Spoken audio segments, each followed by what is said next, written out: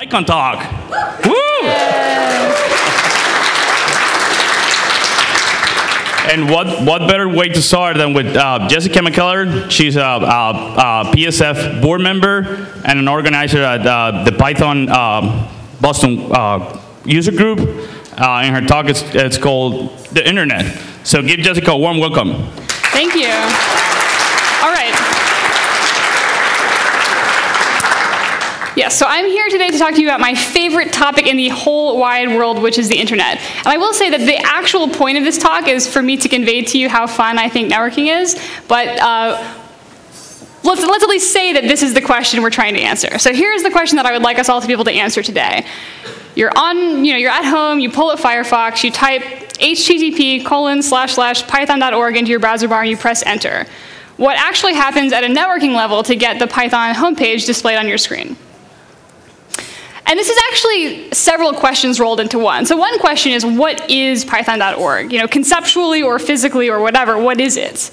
And where is python.org out in this wide universe? Uh, how does my computer talk to python.org? And once it's talking, what does it actually say?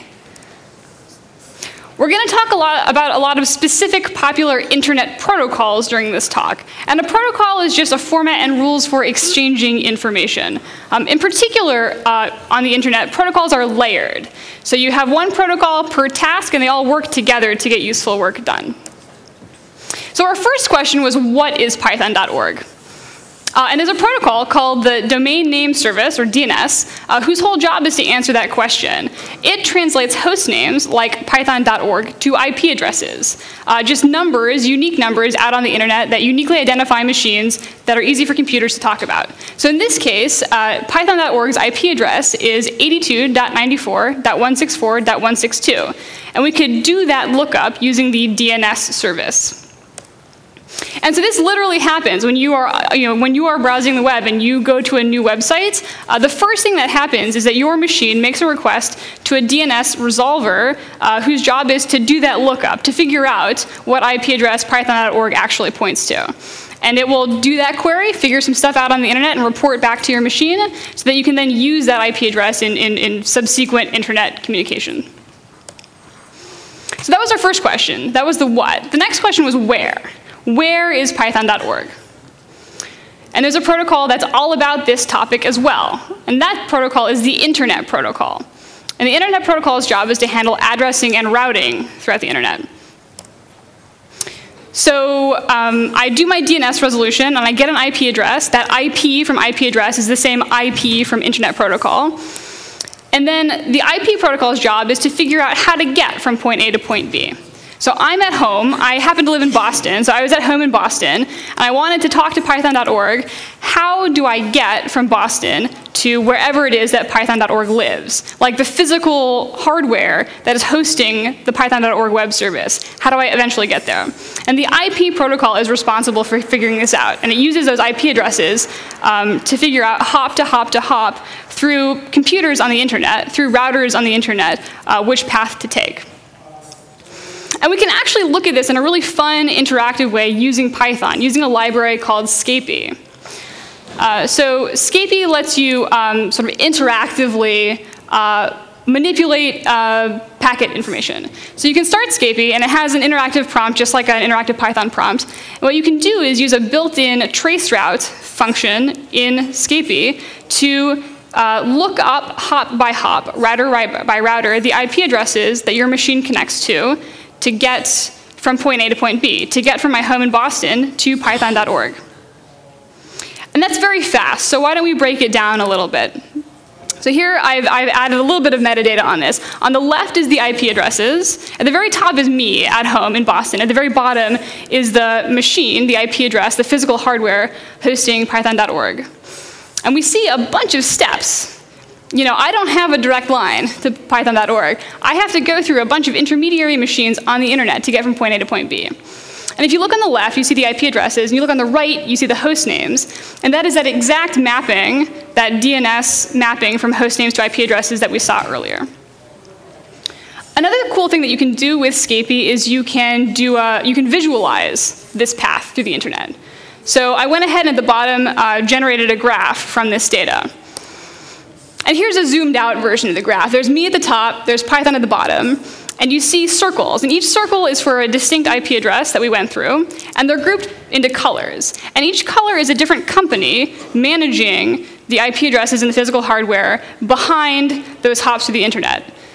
So what we can see in this big picture is that there are many companies working together to get my packets from Boston to python.org. And we can even drill down on this a little bit. So I'm at home and I talk to Comcast, various parts of Comcast. I talked to Cogent, another internet service provider. I talk to IS, and then you know, hop by hop by hop by hop, IP address by IP address, until I finally get to the end, to the provider of python.org. We can do even more with those IP addresses, those traceroute IP addresses from Scapy. Um, one cool thing that we can do is we can geolocate them. So we can use a service um, that has gathered a bunch of data to figure out where, at least approximately, IP addresses are. And we can um, get a sense of where physically my, my packets, the data that I send, are actually going through the internet. So here are those same IP addresses from Scapy. And I used, um, there, there, there are many free and paid services that will let you do this, but here is one that had um, a very nice, simple uh, Python bindings for their service. And what I'm doing here is for every traceroute IP address, I'm doing a, a, a lookup, like you know, a geolocation lookup on where approximately that, the hardware for that IP address lives. And this is the result. And I think that's really cool. So I don't know if you had a guess for where python.org might live physically in the universe, but as it turns out, it lives in Amsterdam. And my packet, so every time I visit python.org, there are packets that start out, data that starts out on my machine in Boston, goes along, like, you know, physical wires, goes along wires between Boston and New York, hops around physical hardware, computer to computer, Boston to New York, crosses the Atlantic somehow, we'll see that in a bit, crosses the Atlantic, gets to London, and from there makes its way to Amsterdam, and then back again for the data that I get back from the server. I mean, that's an amazing amount of hardware and software and political engineering to make this happen reliably all the time without us even thinking about it. And I think that's really cool. And yet, what about that Atlantic Ocean? I mean, it's worth spending two seconds reflecting on the fact that companies literally laid giant cables under the Atlantic Ocean that our, our telephone conversations and our internet conversations go through. They, they physically, those zeros and ones go through along these cables to get from New York to London so that we can talk to Europe. I think that's just spectacular, so I think that's really cool. Okay, so that was a little bit roundabout, but we were answering the question, where is python.org? And we know very well now uh, where it is. It's in Amsterdam, and we can get from point A to point B. We can get from Boston to Amsterdam using uh, data from this internet protocol. Okay, so we've answered two questions. Question number three was, how does my computer talk to python.org? And we have a protocol for this as well. We use the transmission control protocol to talk reliably. TCP's whole job is to reliably deliver data from point A to point B on the internet. And what do I mean by reliable? Um, well, it's, as we've seen, it's a, it's a complicated path to get from me to python.org. And things usually work, but sometimes they don't. A couple of things can happen. Uh, one thing that can happen is that um, the individual computers, the individual routers that I'm going through hop by hop, sometimes they get full.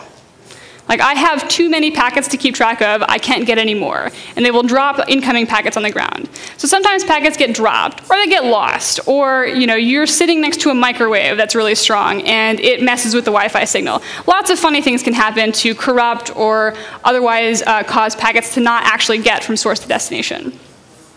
But we don't have to worry about that because this TCP protocol's whole job is to uh, take care of that. And it will retransmit data that gets dropped and we'll do a couple of nice things to ensure that you have a nice steady stream of reliable packets getting from A to B.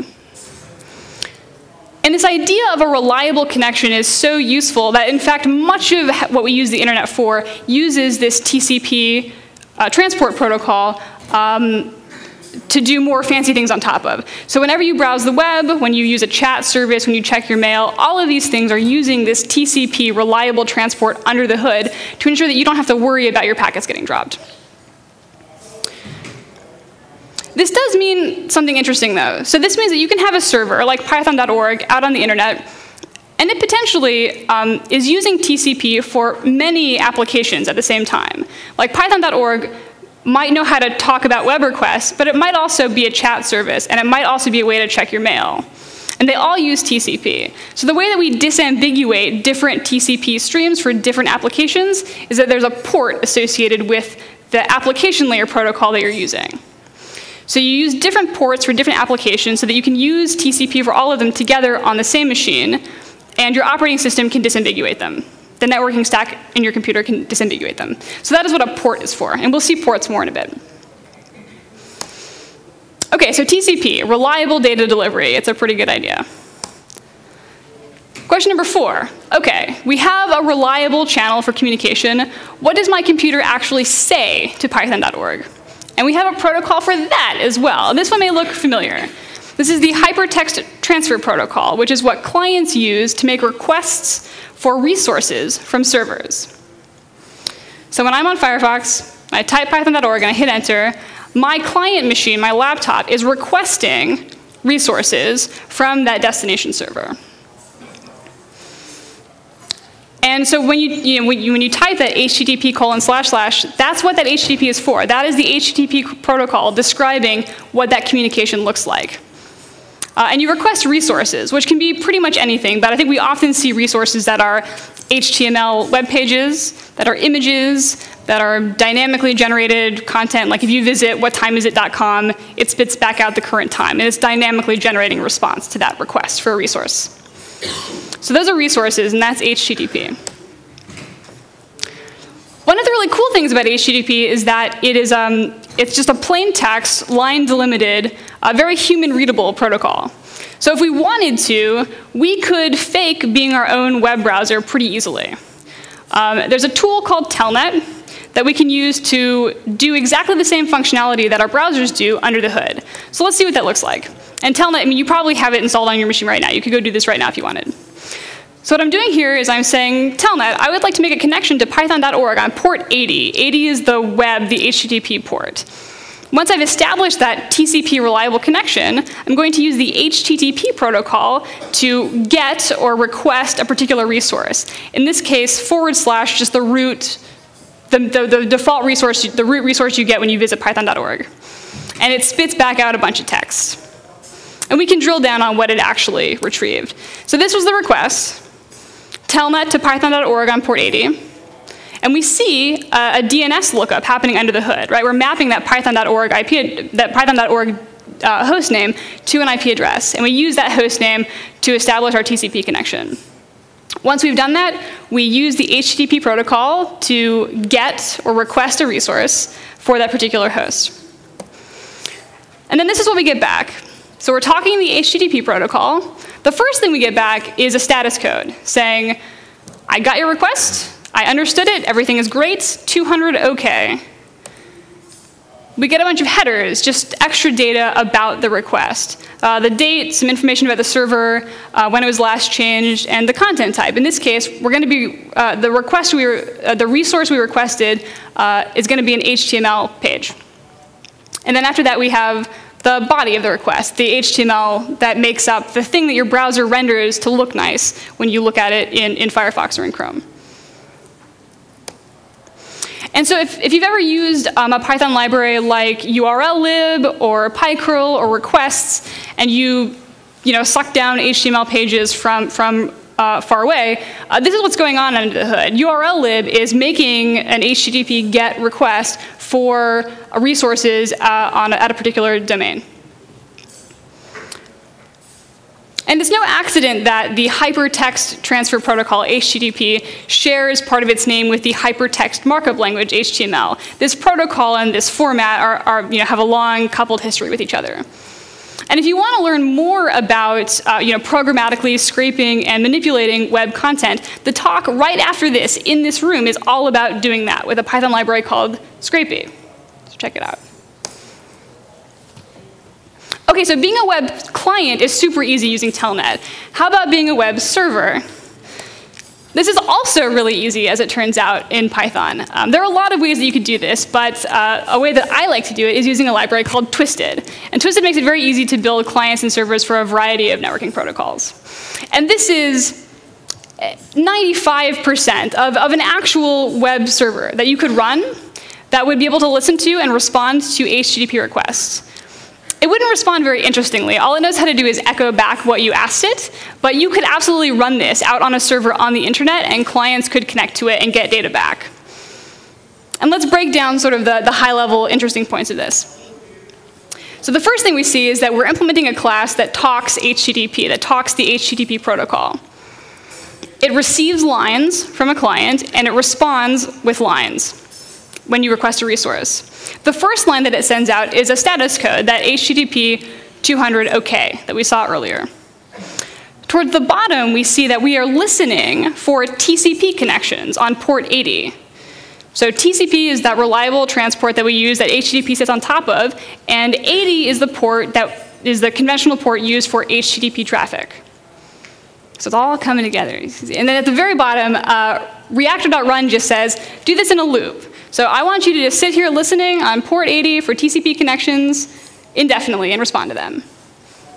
And that is, in a nutshell, what real web servers do. When you visit python.org, when you visit google.com, and you do all of that stuff, this is the essence of what is happening under the hood to respond to your requests. And I think it's, I don't know, I think it's amazing that in Python you can express this in like one slide. That's just super cool.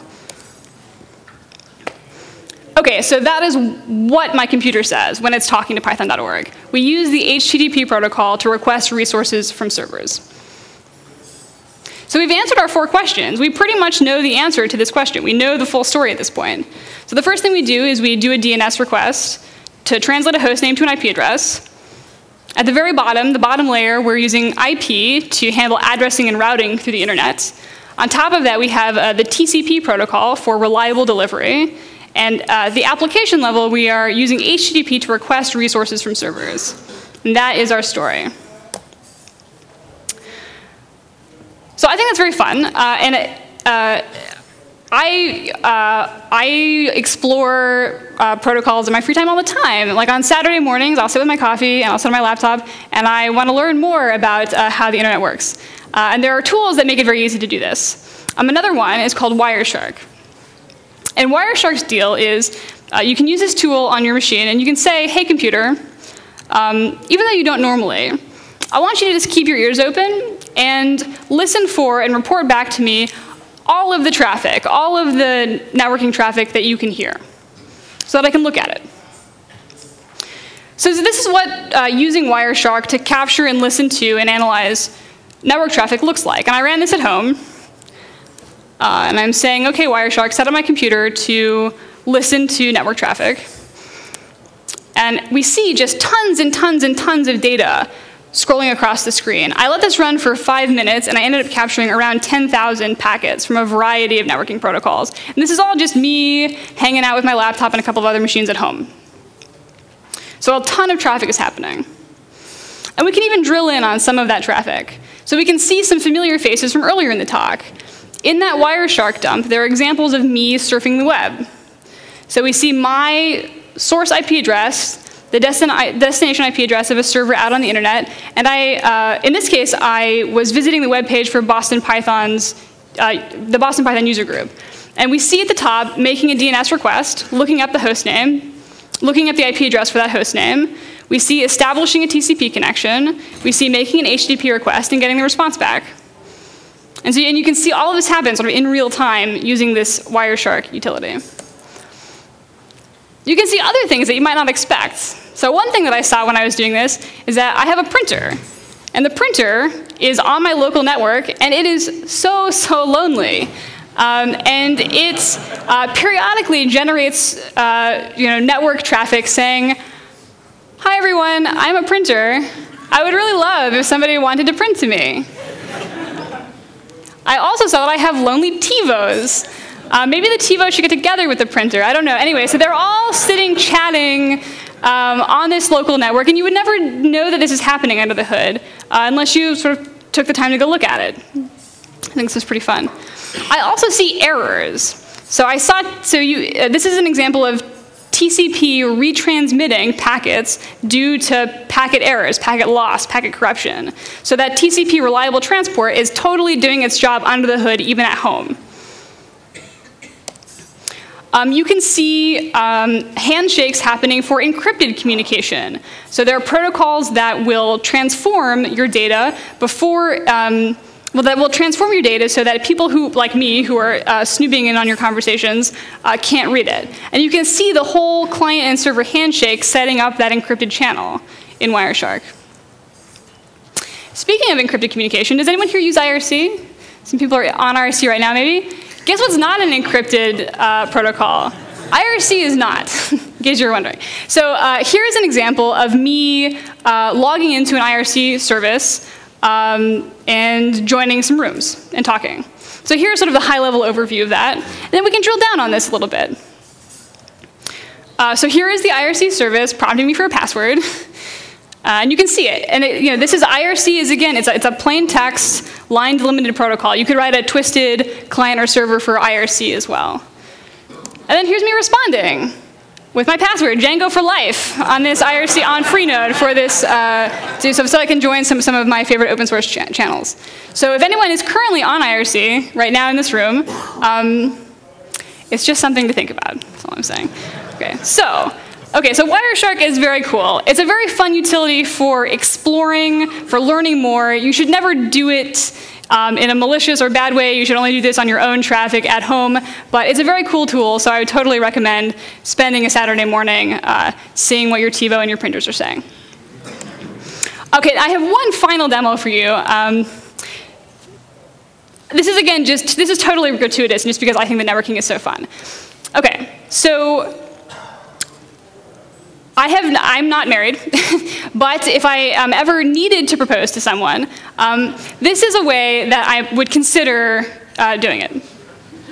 So, um, harkening back to the lonely printers from earlier, um, in this output, we saw uh, there, there, are some new protocols that we haven't talked about before. One of them is the Address Resolution Protocol, or ARP. And ARP is a protocol that you use locally on your local network to map hardware addresses to IP addresses. And by hardware address, I mean there's like a you know, there's a physical device, there's like a physical card that handles the actual physical sending out zeros and ones out, out into the internet. So there's a physical card that has its own um, unique address that is distinct from the IP address that is used for routing. And the address resolution protocol is used to map those hardware addresses to IP addresses on your local network so that machines on your local network know how to talk to each other. So that like my TiVo knows how to talk to my machine locally, for example. I mean, the most important thing that ARP is probably used for is that uh, on your local network, you can all talk around, but um, there's typically one machine, a gateway router, or your, maybe your access point, your gateway router, that is used, that is the, that is the machine that all of your traffic that's going to go out to the internet uses. So, you know, when I generate traffic locally, or when I, when I visit um, a website, all of my traffic goes through this gateway router to get out to the internet. So the gateway router is very important. Um, and so the way that uh, machines on your local network know where the gateway router is is by using this ARP protocol to, uh, to say who is who. So you'll say, you know, who is the gateway router? Who is 192.168.1.1? And the router will respond with, oh, it's me. Um, and so one of the funny things about this protocol is that it's sort of trust-based. It assumes that you're not going to lie about who you actually are. But you can lie about who you actually are. So what I'm doing in this demo here is I'm setting up a machine on my local network to do a couple of things. Well, number one, it's running a web server. So it's able to serve content uh, when someone makes HTTP requests.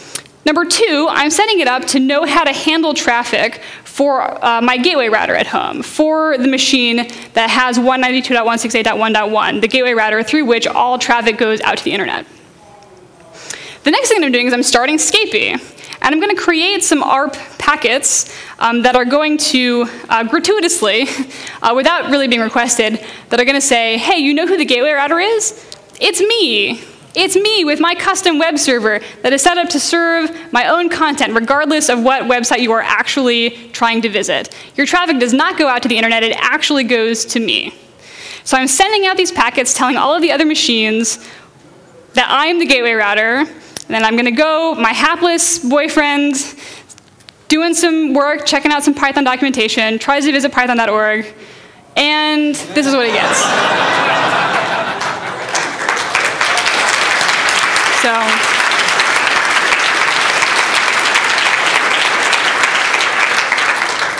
So now, like I said, I haven't actually done this yet, but it is awfully tempting. So I keep this in my back pocket for if the situation ever arises. Okay, I'm just about out of time. Hopefully, I have sufficiently motivated you to go check out some of these really phenomenal libraries for um, learning about and manipulating network traffic in Python. Twisted is a great library for doing a lot of this stuff, um, and I loved Twisted so much that I actually wrote a book about it. uh, and if you want to talk to me about that book or even get a free copy of the book, um, I will be in the expo hall tomorrow afternoon at 3.30 um, with the O'Reilly booth, and we can talk about Twisted and how great networking is. Uh, there's that Scapy interactive packet manipulation software. There's Wireshark. There are a ton of really great libraries. Python is a great language for learning more about this stuff. That's my pitch to you. I hope you will go home uh, from PyCon, go back to your hotel room, and check out some of the stuff. Maybe sniff your own wireless traffic. Um, and that's all I have, so I'm done. That's it.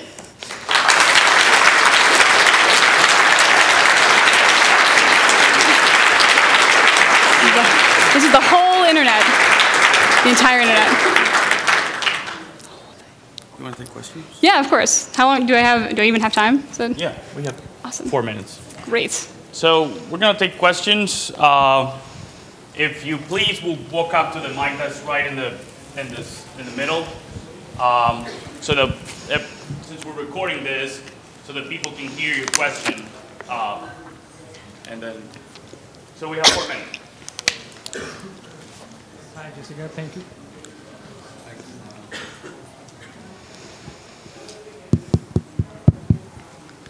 Hi, thank you, Jessica, for a good talk. I just want to uh, know that will you be making the slides available so that we can replay what you did uh, in terms of uh, capturing the and you know fooling the gateway to for our resolution and all that? Can can, can we Is the question will the slides be up or? Yeah. Can, Yes, the so- slides will all be up on Speaker Deck for all of the PyCon talks, so, uh, they'll be up. so we so we'll be able to recreate what you did here, right? You'll have to change some details around, but yeah, the essence of it is there. Okay. Any other questions?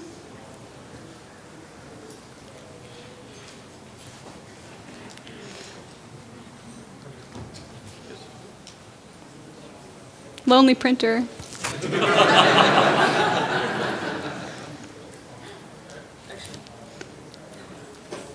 Yeah, you just just line behind her if you have questions. Um, thank you for an excellent presentation.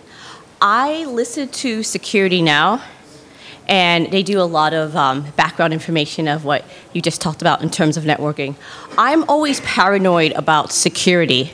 So, using this knowledge, how are we able to obscure our address so other people do not cannot identify us? Okay, so the answer to that is sort of long and complicated, but there are a couple of things. So one is that, um, so HTTP traffic, like IRC traffic, is also unencrypted, and you should always use uh, the uh, encrypted version of HTTP when possible, so HTTPS, and you can Google around for what that is and why that's important. Um, if you're actually interested in anonymizing who you are, um, there are various services that do this, like Tor, that has, you know, is sort of well audited and, and has well understood properties for what it does and doesn't guarantee you. Um, but that's a very big topic, so we can talk about it more afterwards if you want. Thank you very much for the good talk. Now that we all have Raspberry Pis, what are some of your thoughts about cool networking stuff to do with the Raspberry Pi? Yeah, geez, I mean, so many things. I mean, the, the, a great first thing is like set up your own web server if you've never done it before, and really get into the nitty gritty of what it, of what that means to serve content, to have, you know run your own website. It's super educational. I mean, yeah, and it gives you you know, networking is fun. It's also important. This is like a basic computer literacy thing because networking, the internet, it comes up in current events all the time, right? Uh, and it's good to know how this stuff actually works when. Um, you know, governments and politicians are doing crazy stuff that maybe impacts the internet, having an understanding of, of, what's actually going on will make you a more informed citizen as these things are going on around you. So the more you can play, the better, honestly. But, So we're out of time, but thank you very much, Jessica, for a great talk. Thank you for coming.